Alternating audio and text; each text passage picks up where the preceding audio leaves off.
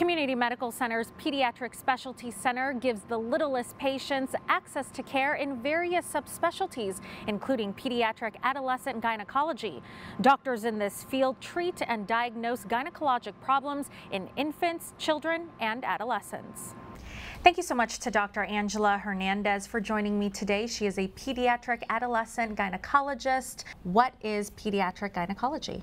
So pediatric gynecology is a subspecialty of obstetrics and gynecology. Um, in order to be trained in it, you do a two-year fellowship in specifying uh, between, you know, birth up until around the age 22, focusing on programs uh, or problems of newborns and young children as well as adolescents. In newborns, um, one of the most common things that I get asked about for my opinion would be newborns who are born with what we call ambiguous genitalia, meaning when you look at the private parts of that baby, it's really unclear if it's a female infant or a male infant, somewhere kind of in between.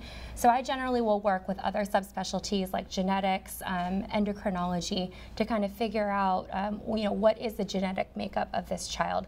Does this child have some sort of condition leading to excess hormones that have caused his or her external genitalia to develop um, improperly and then spending time with the family and the patient and kind of working through how he or she will identify in the future and kind of what to do cosmetically about that area. So that's at a newborn age and then what about toddler ages? For toddler ages, um, the issues I tend to see are kind of effects of hormones or the lack of hormones. Um, one of the common things in girls between maybe zero to three that I will frequently get called for would be, um, you know, if they're concerned that the labia um, are fused. Um, it's something called labial adhesions. It's just due to the fact that at a young age, these girls don't have the same estrogen that an adult woman would have, and the area gets you know, kind of stuck together. It's not an emergency, but a lot of people do look at it and they're like um, really alarmed by it. Um, kind of later on, kind of three to seven area, um, a lot of things I get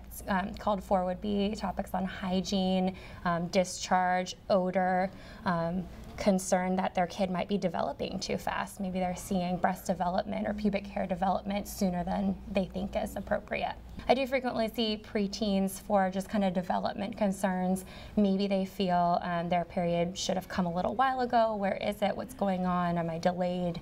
Um, when the periods do come, things like painful periods, irregular periods, um, a need for birth control, or just kind of the need for birth control counseling.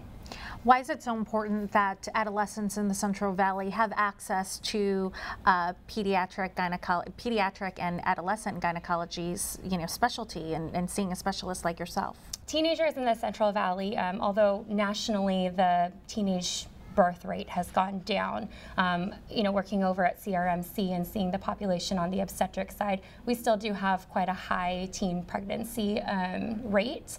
I feel that by being in the Central Valley and kind of ex being exposed to the population early on, whether it's, you know, from when they were seven years old with a vaginal discharge um, or later on coming on just for contraception counseling, um, that I can make an impact in that sense. Final question here, what tips may you have for uh, parents who have, you know, daughters of young age um, or, or that preteen teenage, um, you know, what tips do you have for them? Yeah, well, it is definitely a challenging um, time. Um, the American College of Obstetrics and Gynecologists recommend that um, women starting at the age of 13 to 15 visit a gynecologist, but there's really no need to wait that long.